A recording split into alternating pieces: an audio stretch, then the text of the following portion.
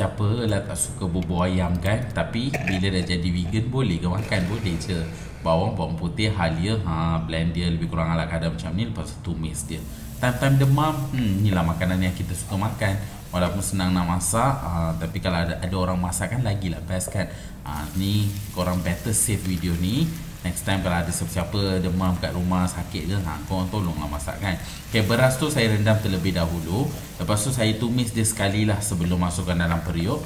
Lepas tu masukkan sedikit vegetarian oyster sauce Minyak bijat Lepas tu masukkan dalam uh, pot nasi. Lepas tu masukkan air lah.